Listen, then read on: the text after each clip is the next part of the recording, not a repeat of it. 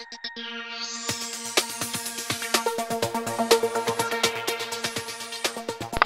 guys, in this video I'm going to show you how to enable multitasking on your iPod Touch 2 and your iPhone 3G. The first thing we're going to do is go to Cydia. We're going to wait for this to load. When it's done loading, what you're going to do is go to search and you're going to type in Winterboard. This is the first thing we're going to install in order to be able to uh, enable features. So you're going to type in W-I-N T E R B O A R D Winterboard. So you're gonna open that, you're gonna install it and confirm. When you have installed that, you're gonna come back here and you're gonna search for features. F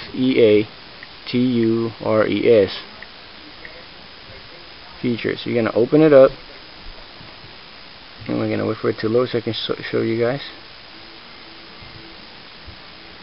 it'll give you some info.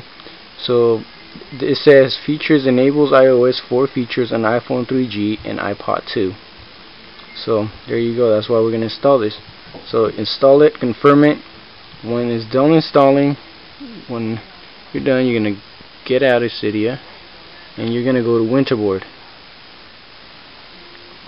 from here is very simple. Now you gotta go select theme and all you got to do is click wallpaper multitasking. Make sure that's the only one you have selected out of all of the other options. Now you're gonna go back and you're gonna respring.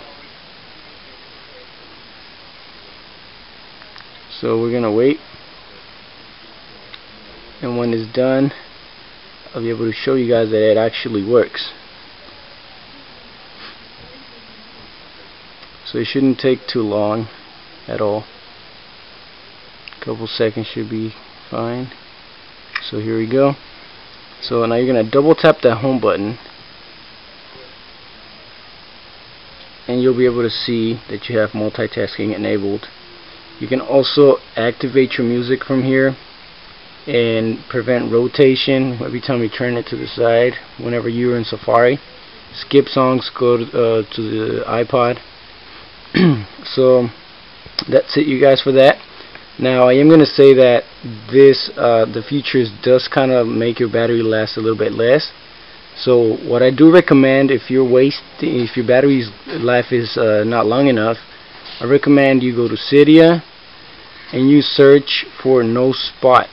And what this does it it disables uh, the spotlight search from Springboard every time you're you you go to the last page as you can you know you have that little uh, option to search it will disable that and that will make your battery last longer. So you're gonna go to search and you're gonna type N-O-S-P-O-T nospot and there it is. And what this does like I said it, it disables uh, spotlight search. So now what I'm gonna something else I'm gonna tell you is uh, what the, the other thing you could do in order to preserve life is go to settings and go to brightness. When you're in brightness you can select uh, how bright you want your iPod or iPhone to be.